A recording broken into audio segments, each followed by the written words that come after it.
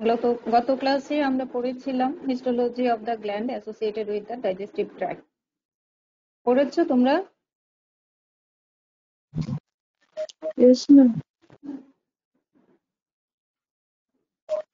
কি কি গ্ল্যান্ড আছে বলো তো ট্র্যাক্টে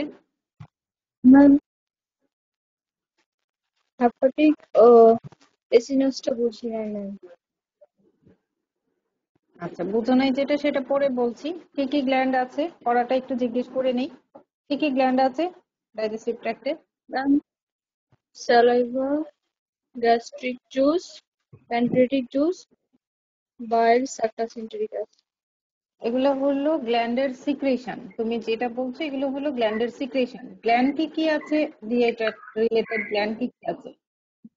ম্যাম লিভার গল ব্লাডার আর স্যালাইভারি গ্ল্যান্ড স্যালাইভারি গ্ল্যান্ড আচ্ছা।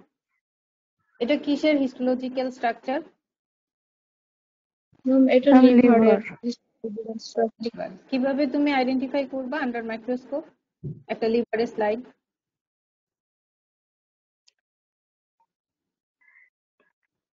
ম্যাম হ্যাঁ পোর্টাল ট্রায়াড তারপর সেন্ট্রাল ভেইন তারপর ইন্টারলোবিউলার ব্রাঞ্চ সবার আগে তুমি portal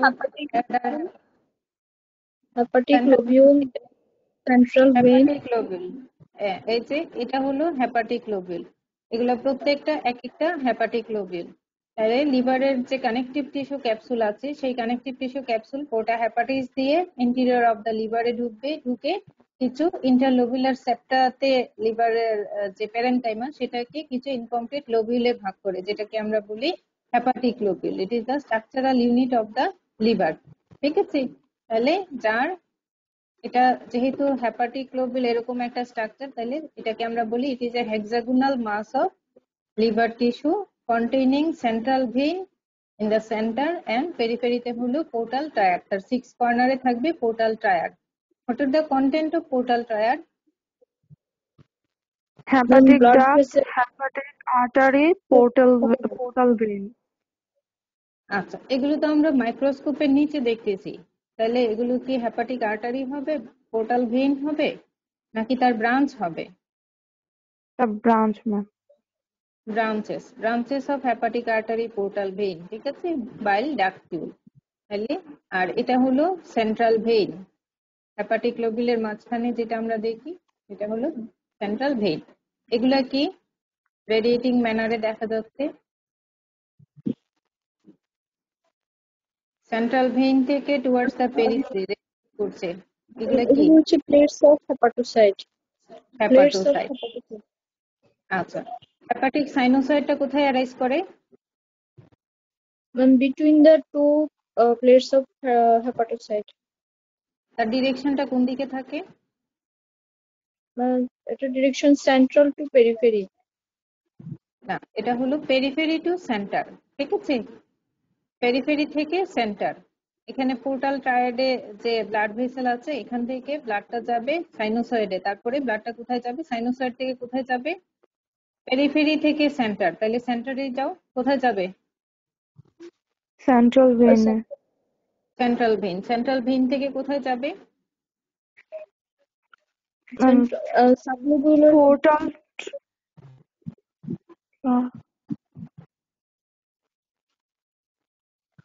পড়তে হবে আমি গত ক্লাসে সব বলেছি।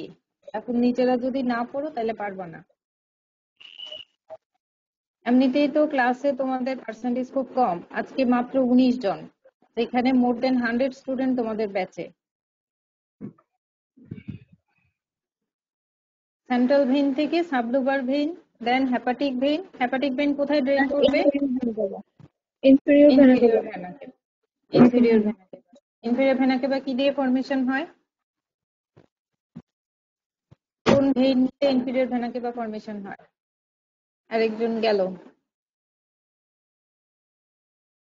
দেখো, তোমাদের বিশ জন ছিল। বিশ জন থেকে এখন সতেরো জন। পড়া ধরলে যদি তোমরা এরকম আসা যাওয়ার মধ্যে থাকো যে আমরা এখন চলে যাই, আবার যখন পড়ানো স্টার্ট করবে, তখন আবার এসে জয়েন হব। এগুলো কিন্তু খারাপ। এক হচ্ছে অনলাইনে ক্লাস নেই আমাদের জন্য অনেকটাই টাফ হচ্ছে। তোমাদের চেহারা দেখা যায় না, তোমাদের রেসপন্স শোনা যায় না। আমি নিজে নিজেই কথা বলতে থাকি। তারপরে যদি তোমরা যে জিনিসটা পড়ানো হলো, সেটা না পড়ে আসো ক্লাসে এক, দুইটা প্রশ্ন করলে প্রশ্নের উত্তর দাও না। আবার তোমাদের ক্যামেরাগুলো এমন ইয়ে করে রাখো যে অফ করে রাখো যে, তোমাদের চেহারা আমরা দেখতে পারি না। আসো যাও আসো যাও আসো যাও। এগুলা কেন? প্রত্যেকটা টিচারই কষ্ট করে তোমাদের ক্লাসগুলো নিচ্ছে। প্রতিটা লেকচার আমাদের রেডি করতে হচ্ছে। একটা স্টুডেন্টও বলতে পারবে না inferior ভেনাকেবার formation ma'am right and left common এতক্ষণ লাগল? দেখে বলো না দেখে বলো এতক্ষণ লাগল? Right and left common iliac vein মিলে ফরমেশন হয় inferior vena cava hepatic brain drain into the inferior vena cava inferior vena কেবার যে ট্রিবিউটারিজ এর মধ্যে একটা দেখবা হেপাটিক ভেইন আচ্ছা তাহলে এটা হলো histological structure of the liver হেপাটোসাইটটা আমি তোমাদের দেখিয়েছি গত ক্লাসে এই আরও ক্লোজ ম্যাগনিফিকেশনে যখন এই ছবিটাই আমরা দেখব হেপাটোসাইটগুলো আরও ক্লিয়ারলি ভিজিবল হবে। দিস ইজ দ্য হেপাটোসাইট এগুলো প্রত্যেকটা এক একটা হেপাটোসাইট আর পোর্টাল ট্রায়াডের আরও ক্লোজ ম্যাগনিফিকেশন আমি দেখিয়েছি ব্রাঞ্চগুলো hepatic arteriole portal venule bile ductule ঠিক আছে?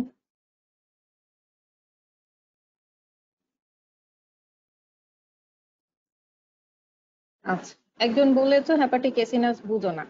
আমরা হ্যাপাটিক লোবিউলকে বলেছি, এটা হলো একটা structural unit of the liver আরও দুইটা তোমার লিভার লোবিউল আমরা পাই, একটা হলো দুইটা ফাংশনাল ইউনিট পোর্টাল লোবিউল আর একটা হলো হ্যাপাটিক এসিনাস। পোর্টাল লোবিউল হলো তিনটা অ্যাডজাসেন্ট হ্যাপাটিক লোবিউলকে তার সেন্টারে তিনটা সেন্ট্রাল ভেইন আছে।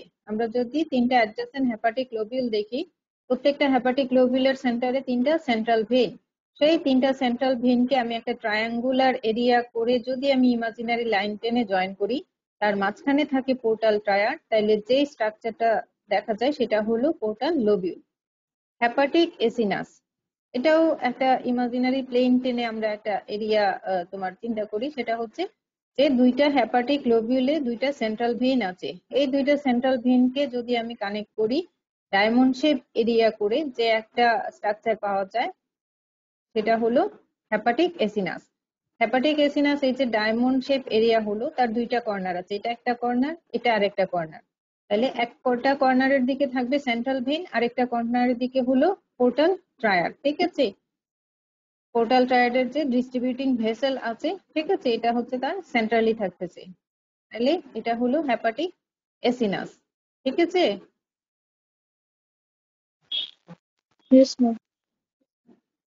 আচ্ছা।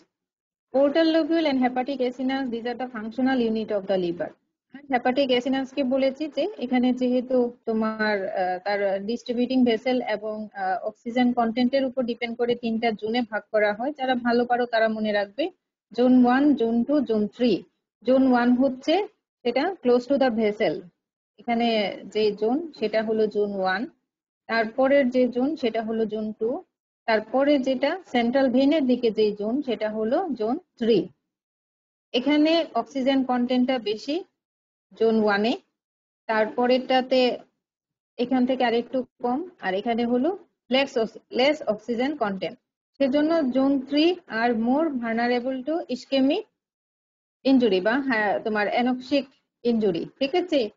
এখানে তোমার ইস্কেমিয়া হয় জোন থ্রিতে আর জোন ওয়ানে হয় না কেন? এখানে ওয়েল অক্সিজেনেটেড এরিয়া সেজন্য এখানে ইস্কেমিয়া হয় না, ঠিক আছে? তাহলে এটা হলো হ্যাপাটিক এসিনাস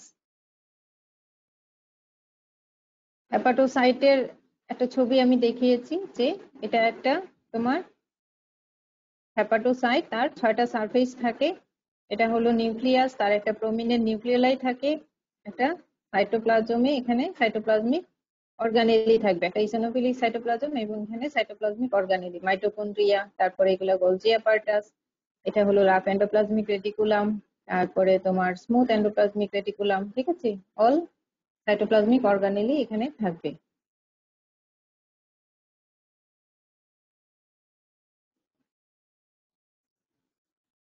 এটা কিসের হিস্টোলজিক্যাল ফিচার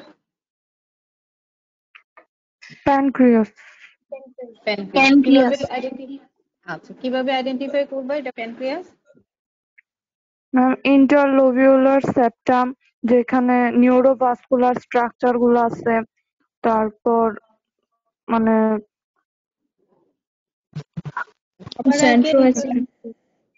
আচ্ছা সেপ্টা তেমন একটা কোনো স্পেশাল ফিচার না আইডেন্টিফাইং এর জন্য। ইন্টারলোকুলার সেপ্টা অনেক জায়গায় থাকে। লিভারে ছিল এখানে প্যানক্রিয়াস এখানেও পাওয়া যাচ্ছে, ঠিক আছে? তাহলে এটা কোনো টিপিক্যাল ফিচার না, যেটা আমাদের দেখতে হবে সেরাস এসিনাই, ঠিক আছে? Exocrine portion of pancreas contain serous acini these are the serous acini, এগুলো সবগুলো হলো serous acini. Within this acini there is a clusters of cell is called islets of Langerhans তাইলে islets দেখব আর serous acini দেখব, ঠিক আছে? আর হলো ডাক থাকবে তোমার ইয়ে থাকবে প্যানক্রিয়াটিক ডাক থাকবে, ঠিক আছে? তাইলে যদি এক্সোক্রাইন পোর্শন কেন এখানে? ডাক্ট আছে, সেজন্য এক্সোক্রাইন পোর্শন ঠিক আছে? আর তার এন্ডোক্রাইন পোর্শন কোনটা? এন্ডোক্রাইন পোর্শন হলো আইলেটস অফ ল্যাঙ্গারহ্যান্স ঠিক আছে? তাহলে সেরাস এসিনাই আছে, এখানে ডাক্ট আছে, আর হলো আইলেটস অফ ল্যাঙ্গারহ্যান্স আছে। ঠিক? সিস্টেমটা এখানে ওয়েল ডেভেলপ না। ডাক সিস্টেমটা স্যালাইভারি গ্ল্যান্ডে ওয়েল ডেভেলপ থাকে। ঠিক আছে? এগুলো দেখে আমরা চিনবো this is the histological structure of the pancreas আচ্ছা এবার বলো আইলেটস কি কি সেল কি কি সেল থাকে? Alpha beta- cell beta cell delta আর প্যানক্রিয়েটিক পলিপেপটাইড আচ্ছা আলফা সেল কি রিলিজ করে? Glucagon glucagon glucagon beta cell insulin আর ডেল্টা সেল সোমাটোস্টেট আর cell polypeptide pancreatic polypeptide yes ma'am তাহলে this is the histological features of the pancreas অনেক সময় short note আসে islets of Langerhans তাহলে islets of Langerhans একটু description লিখতে হবে। এরকম একটা ছবি আঁকতে হবে, এগুলা হলো সেরাসেসিনাই তার মাঝখানে কিছু ক্লাস্টারস অফ সেল থাকে, যেমন এগুলা হলো আলফা সেল এগুলো হলো বিটা সেল ঠিক আছে? তাহলে সেলগুলো মিলে যে একটা ওভার স্ট্রাকচার আমরা পাই this is the islets of Langer Langerhans ঠিক আছে? এটা টেইল অফ দ্য প্যানক্রিয়াসে বেশি থাকবে। আচ্ছা এবার পরের স্ট্রাকচারে যাই। এটা কিসের history gall bladder gall bladder এখানে একটা স্পেশালিটি আছে গল ব্লাডার তোমার জিআই ট্র্যাক্টের একটা পার্ট কিন্তু এখানে এক্সেপশন আছে তাই না? এক্সেপশন কি? সেকশন করলে বলো? ক্রিপস থাকে এখানে। মিউকোসাতে ক্রিপস থাকে ম্যাম মানে ডাইভার্টিকুলা creeps- অথবা ক্রিপস আচ্ছা ক্রিপসটা দেখে মেইনলি আমরা চিনতে পারি যে এটা গল ব্লাডারের হিস্টোলজিক্যাল স্ট্রাকচার কিন্তু এখানে জিআই ট্র্যাক্টের মতো যে চারটা লেয়ার ছিল এখানে কি চারটা লেয়ার আছে?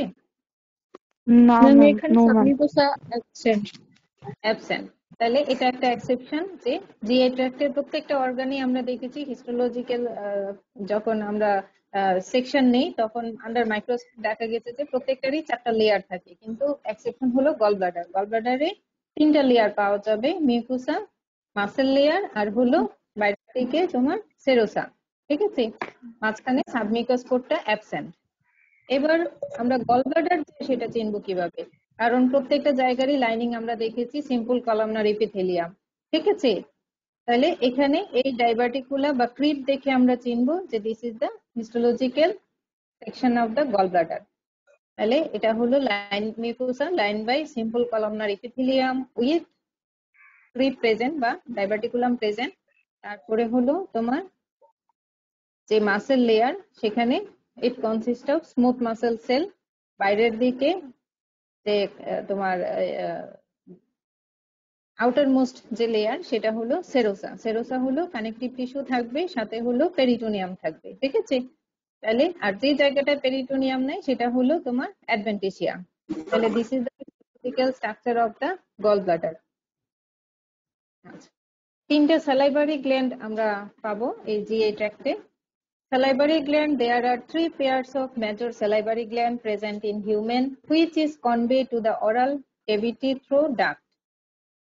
এর জন্য এদেরকে এক্সোক্রাইন গ্ল্যান্ডও বলা হয় ঠিক আছে most characteristic feature of salivary gland is presence of striated duct এই striated duct দেখেই salivary gland গুলো আমরা চিনতে পারি under the electron microscope the cells lining this duct they have basal infolding of plasma membrane and longitudinal orientation of mitochondria between the infoldings which give a striated appearance to the basal part of the epithelium under light microscope giving the name of striated duct আচ্ছা তাহলে আমরা বলেছি যে salivary গ্ল্যান্ডগুলার most typical feature হলো এদের মধ্যে striated ডাক থাকবে যখন আমরা এই স্ট্রাইশনটা দেখতেছি আমরা লাইট মাইক্রোস্কোপে যখন ইলেকট্রন মাইক্রোস্কোপে দেখব কেন এই স্ট্রাইশনটা দেখা যায় যে তাদের যে তোমার এপিথেলিয়াম যেটা আছে, ঠিক আছে?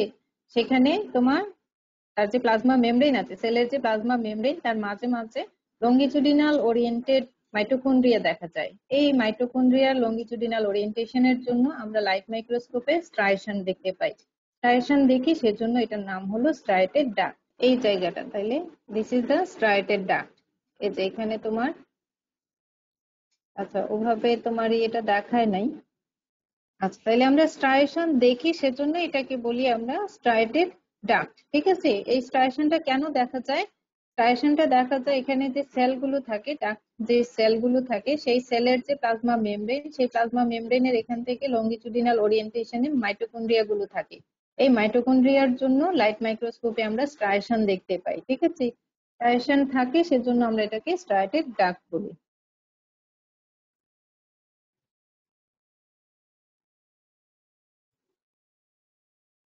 Duct system of salivary gland. Intercalated duct arise from acini and join to form the striated duct, which are intralobular in position and lined by low columnar epithelium. তাহলে প্রথমে হলো অ্যাসিনাই থেকে ইন্টারক্যালেটেড ডাক্ট অ্যারাইজ করবে সেই duct join হয়ে form করবে striated duct striated duct intralobular পজিশনে থাকে এবং line by low columnar epithelium Striated duct drain into large excretory duct which are interlobular in position and lined by stratified columnar epithelium. Striated ductটা drain করে large excretory ductে যেটা interlobular পজিশনে থাকে এবং সেটা line by stratified columnar epithelium. তাহলে striated ডাক্টটা ছিল লো কলামনার তারপরে তোমার এক্সক্রিটরি ডাক্টটা হলো স্ট্রেটিফাইড কলামনার এই তোমার যে excretory duct the main duct of each salivary gland empty into the oral cavity ঠিক আছে? মেইন ডাক্ট যেটা, সেটা ওরাল কেভিটিতে যে ড্রেন করবে and line by non keratinized stratified squamous epithelium এটা ছবি দেখি। আচ্ছা this is the acini secretory portion of the gland এই এসিনাই থেকে এই যে ডাক্ট সিস্টেম শুরু হলো। Beginning duct is call the intercalated duct acini থেকে যে ডাক্টটা অ্যারাইজ করে this is the intercalated duct intercalated duct join to form the striated duct this is the striated duct এই যে এখানে স্ট্রাইশন দেখা যাচ্ছে, তাহলে this is the striated duct তারপরে এই striated duct striated doctor intralobular in position and line by low columnar epithelium ঠিক আছে?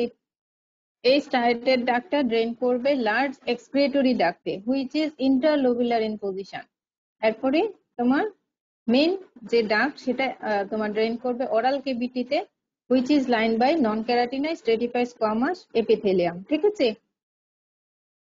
তাহলে প্রথমে intercalated duct join to form the striated duct. Striated duct drain into the large excretory duct. Excretory duct, তোমার main যে duct সেটা open into the oral cavity ঠিক আছে intercalated duct তারপরে হলো striated duct striated duct low columnar epithelium তারপরে হলো তোমার ফ্রাইটেড ডাক যেটা large excretory duct stratified columnar epithelium main duct of the salivary gland which empty into the oral cavity line by non keratinised stratified squamous epithelium এটুকু clear ma'am interlobular কেন inter নাকি intra inter লোগুলার interlobular মানে দুইটা লোবিলের মাঝখানে। তার পজিশনটা হলো দুইটা লোবিলার মাঝখানে। আর ইন্ট্রালোবিউলার যেটা সেটা হলো লোবিলের ভিতরে। বুঝা যাচ্ছে? ইয়েস ম্যাম প্রত্যেকটা গ্ল্যান্ডের আমরা জেনারেল আর্কিটেকচারে কি পড়েছি? যখন আমরা ইপিথেলিয়াল টিস্যু পড়ি যে গ্ল্যান্ডের দুইটা পোর্শন থাকে। একটা প্যারেনকাইমা আরেকটা হলো তার ক্যাপসুল ক্যাপসুল যেটা outer most covering connective tissue সেই ক্যাপসুলটা তোমার ইন্টেরিয়র অফ দ্য গ্ল্যান্ডে ঢুকে প্যারেনকাইমাটাকে অনেকগুলা লোবিউলে ভাগ করে বোঝা যাচ্ছে? ইয়েস ম্যাম আচ্ছা তাইলে সেই লোবিউলের ভিতরে যে ডাক সেটা হলো ইন্ট্রালোবুলার পজিশন আর দুইটা লোবিউলের মাঝখানে যে ডাক সেটা হলো ইন্টারলোবুলার ইন পজিশন বুঝা গেল? ইয়েস ম্যাম ইয়েস ম্যাম আচ্ছা ঠিক আছে। তারপর দেখো secretory portion of the gland the secretory portion of the gland composed of two type of acini or এলবিউলাই আমরা এসিনাই বলতে পারি অথবা এলবিউলাই বলতে পারি। আমি গত ক্লাসে বলেছি serous acini and mucous acini serous acini these are composed of closely aggregation of serous cell pyramidal in shape as ভালো ইয়ে দেখায় ছবি। এই যে, তাহলে this is the serous acini serous এসিনাইটা হলো তোমার এই যে পিরামিড শেপ সেল থাকবে। ক্লাস্টার্স অফ সেল বা aggregation of serous cell form the serous acini this are the pyramidal cell with central rounded single nucleus ঠিক আছে? এবং darkly stain under light microscope মাইক্রোস্কোপের নিচে আমরা ডার্ক স্টেন দেখি, ঠিক আছে? এখানে সাইটোপ্লাজমিক অর্গানেলি বেশি থাকে, সেজন্য সে স্টেইনটা বেশি নেয়। এর জন্য আমরা ডার্কলি স্টেইন দেখি, ঠিক আছে? আর এখানে জাইমোজেন গ্রেনিউল থাকে সেলগুলো লার্জ থাকে, সে কারণে তার লুমেনটা ছোট। এটা হলো সেরাস এসিনাই। আরেকটা এসিনাই আমরা দেখি, mucous acini. Mucous acini, cells are cuboidal to columnar in shape and flatten nucleus basally place মানে towards the basement membrane this is the basement membrane of the cell ঠিক আছে? তাহলে towards the basal লেমিনার দিকে। This is the basal lamina এবং flatten nucleus of the mucous cell সেটা তোমার basement মেমব্রেনের দিকে, ঠিক আছে? একটাই থাকবে towards the বেজমেন্ট membrane. আর এখানে মিউসিন গ্রেনিউল থাকবে। সেলের সাইজটা ছোট তার লুমেনটা হবে বড়।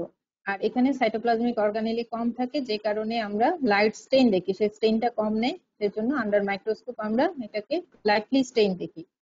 ক্লিয়ার দুইটা এসিনাই চেনা যাবে? Yes, ma'am. আচ্ছা। Cell.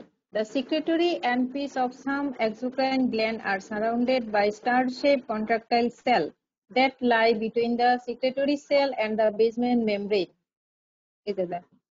This is the secretory acini. ঠিক আছে?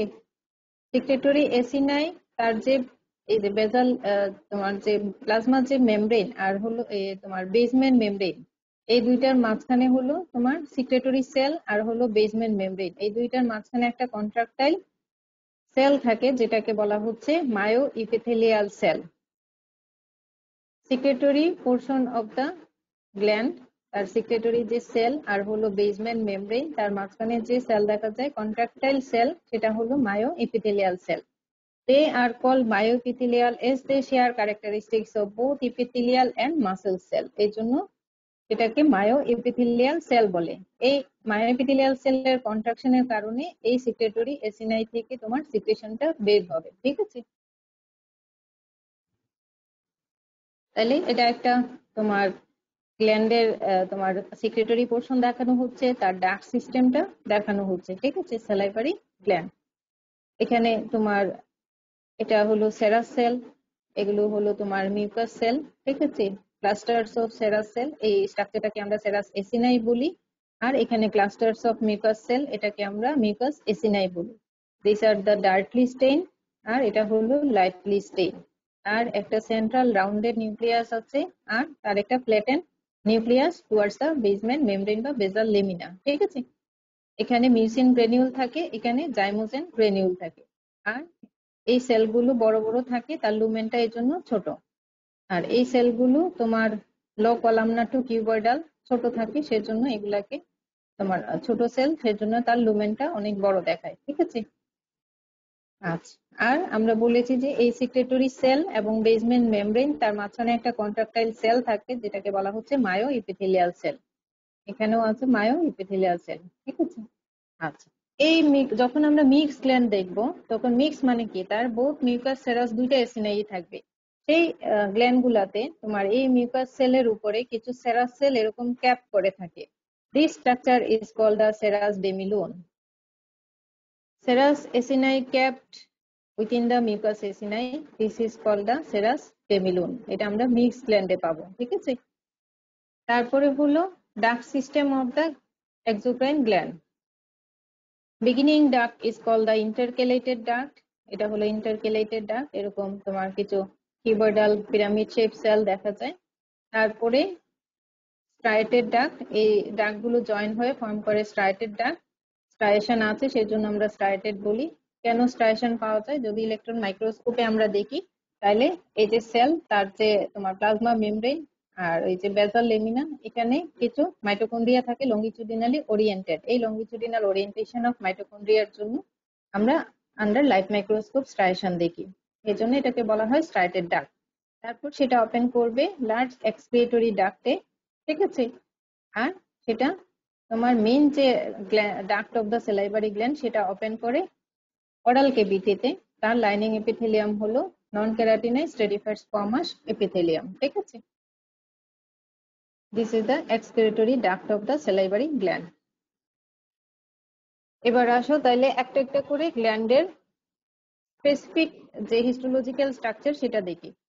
তিন ধরনের আমরা বলেছি আমাদের মেজর সেলাইবারি গ্ল্যান্ড আছে। একটা হলো parotid gland submandibular gland sublingual gland parotid gland parotid গ্ল্যান্ডটা আমরা কীভাবে চিনব?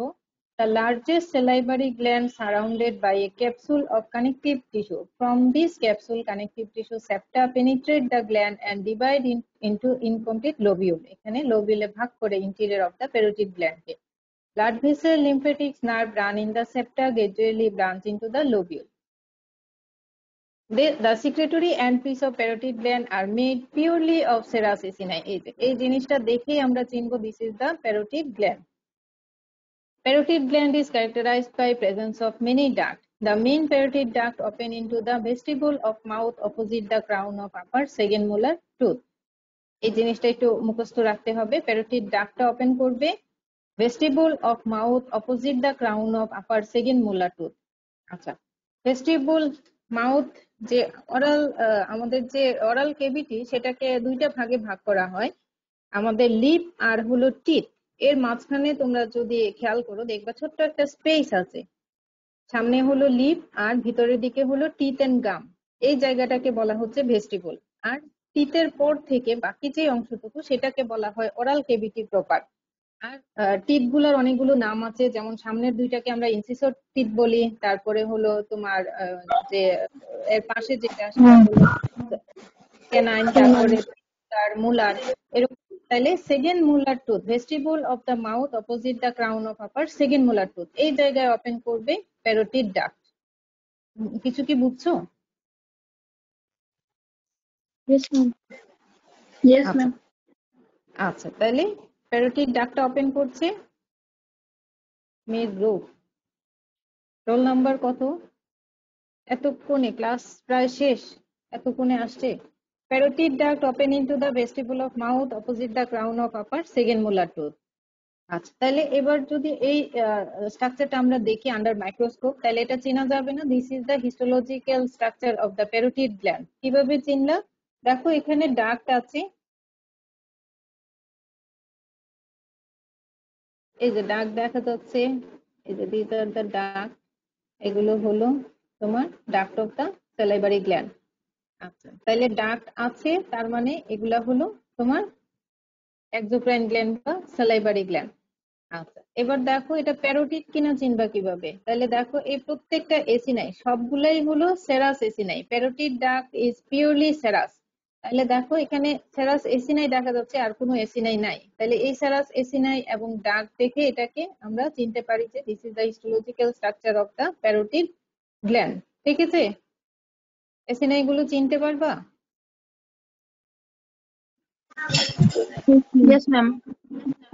আচ্ছা তাহলে প্যানক্রিয়াসও পড়া প্যারোটিড গ্ল্যান্ডও করা হলো। দুইটার মধ্যে ডিফারেন্সটা একটু কেউ বলো দেখি। প্যারোটিডেও আমরা সেরাস এসিনাই দেখতে পাচ্ছি প্যানক্রিয়াসেও সেরাস এসিনাই ছিল।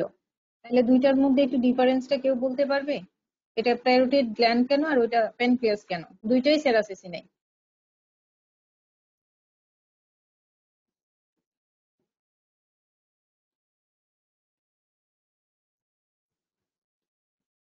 বলো, দুইটাই তো আমরা পড়লাম। দুইটার হিস্টোলজিক্যাল স্ট্রাকচারও আমরা দেখলাম, তার ডিটেলস পড়েছি। এখন দুইটা থেকে ডিফারেন্সটা কি বের করা যাবে? পরীক্ষায় কিন্তু এগুলো জিজ্ঞেস করে, যে এটা প্যানক্রিয়াস না কেন? এটা প্যারোটিড গ্ল্যান্ড কেন? ওখানেও সেরাসেসিনাই ছিল, এখানেও সেরাসেসিনাই। দুইটার মধ্যে ডিফারেন্সটা কোন জায়গায়? ম্যাম প্যানক্রিয়াসের সেন্ট্রো এসিনার একটা ছিল যেটা সেন্ট্রোএসিনার সেল Yes, ma'am. তার- চাইতেও টিপিক্যাল ফিচার বলো। এখানে কি কোনো এন্ডোক্রাইন পোর্শন আছে? No, ma'am. No ma'am exocrine হ্যাঁ তাহলে প্যানক্রিয়াসের যে এন্ডোক্রাইন পোর্শন ছিল আইলেটস অফ লেঙ্গারহ্যান্স তাহলে প্যানক্রিয়াসে আইলেটস অফ লেঙ্গারহ্যান্স থাকবে যেটা প্যারোটিডে নাই। আর প্যারোটিডে কোনটা থাকবে? স্ট্রাইটেড ডাক্ট যে স্ট্রাইটেড ডাক্ট বা duct system is well develop in the parotid gland pancreas আর প্যারোটিডের মধ্যে যদি আমরা বলি, তাহলে এখানে ডাক্ট সিস্টেমটা ওয়েল ডেভেলপ স্ট্রাইটেড ডাক্ট আছে, সেজন্য এটা হলো প্যারোটিড আর প্যানক্রিয়াসে আইলেটস অফ ল্যাঙ্গারহ্যান্স আছে, সেজন্য ওটা হলো প্যানক্রিয়াস দুইটাতেই সেরাসেসিনাই থাকবে। আর এগুলা যে ফাঁকা ফাঁকা দেখা যাচ্ছে, এগুলা হলো অ্যাডিপোস সেল ঠিক আছে? তাহলে এখানে ডাক্ট আছে এই যে এগুলা প্রত্যেকটা এক একটা ডাক্ট আর হলো এখানে সেরাস এসিনাই আছে। এগুলো দেখে আমরা চিনতে পারলাম যে this is the histological structure of the parotid gland আচ্ছা বাকিগুলো আমি একটু দেখায় দেই। এটা হলো তোমার, এখানে কি কি আছে দেখো? এই যে মিউকাস এসিনাই আছে, এখানে সেরাস এসিনাই আছে, আবার ডাক্টও আছে। তাহলে ডাক সিস্টেমটা এখানে ওয়েল ডেভেলপ এই তিনটা গ্ল্যান্ডের মধ্যে এখানে ডাক সিস্টেমটা বেশি ডেভেলপ আর দুই ধরনের এসিনাই আছে। তাইলে এটা কি হবে? দুই ধরনের এসিনাই আছে। তাইলে এটা কি গ্ল্যান্ড হবে? মিক্সড গ্ল্যান্ড মিক্সড গ্ল্যান্ড এবার মিক্সড গ্ল্যান্ড আমাদের দুইটা আছে। একটা হলো সাবমেন্ডিবুলার আর একটা হলো সাবলিঙ্গুয়াল এখন দুইটা থেকে তোমাকে আলাদা করতে হবে। তাহলে দেখো এখানে এসিনাই কোনটা বেশি? তোমরা বলো। মিউকাস বেশি নাকি সেরাস বেশি?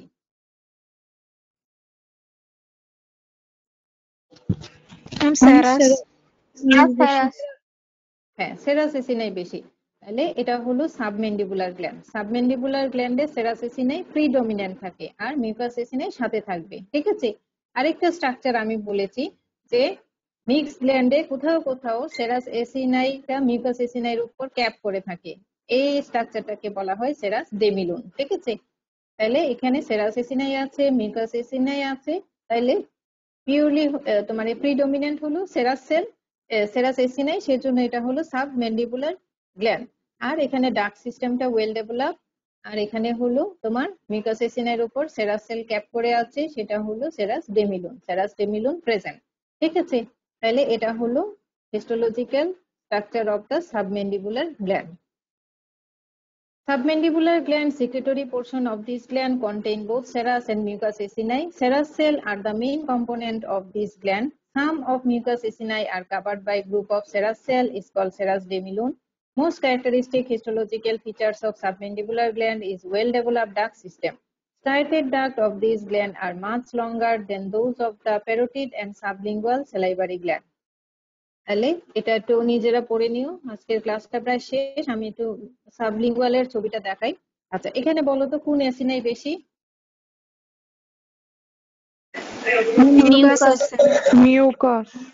মিউকাস তাইলে এতক্ষণ পরে আমরা দেখলাম যে মিউকাস এসিনাই বেশি থাকে হচ্ছে সাবলিঙ্গুয়াল গ্ল্যান্ডে সেরাস এসিনাই কম দেখো অনেক কম। তাহলে এটা হলো মিউকাস এসিনাই যেহেতু বেশি তাহলে সাবলিঙ্গুয়াল সালাইবারি গ্ল্যান্ড এই যে সেরাস ডেমিলুন আছে সেরাস ডেমিলুন মিউকাস সেলের উপরে সেরাস সেলগুলো ক্যাপ করে থাকে। তাহলে এটা হলো সাবলিঙ্গুয়াল সালাইবারি গ্ল্যান্ড ঠিক আছে?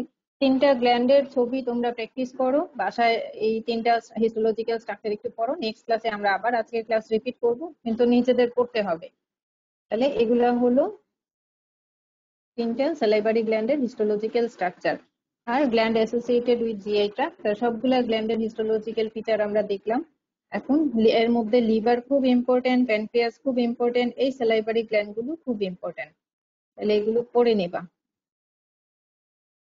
আজকে ক্লাসটা নেক্সট ক্লাসে আমি জিজ্ঞেস করব, আজকে